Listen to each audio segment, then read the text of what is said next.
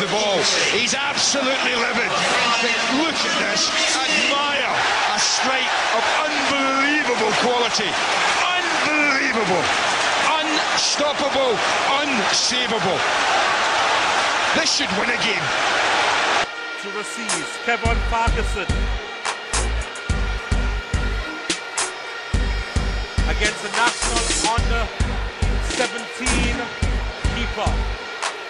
Well, he has scored in every game for Stet so far. Let's see if he will in this one. He does! It's a very well taken penalty. 1 1. Both goalkeepers seem to be getting getting it correct in going in the right direction. But these are good penalties. Two very, very good penalties. Gregory McCarver was a fantastic keeper for STETHS. I can remember him wearing full blue. Now Cole is wearing this bright red suit.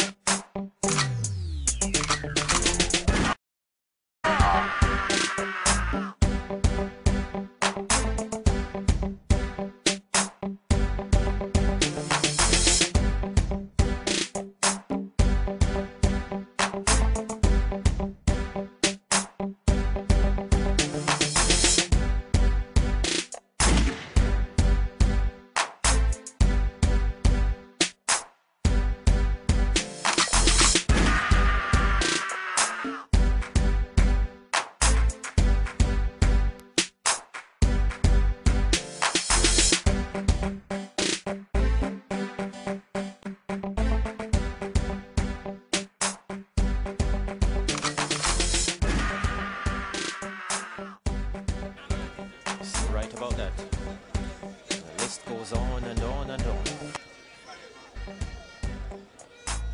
So Stetson Jones. Good movement forward. Oh, that's wonderfully executed.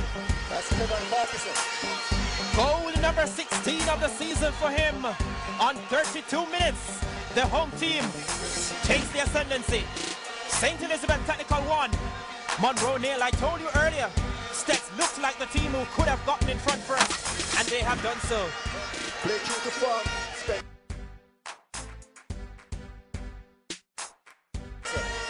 And that was clinically executed by Kevon Farquharson there. He didn't go for pace, he, he went for placement. Pushed the ball into the far side of the goal, on the ground. They got some chances earlier, missed them, but this time, well done, Kevon Farquharson. Excellent goal, deserving St. Elizabeth Technical.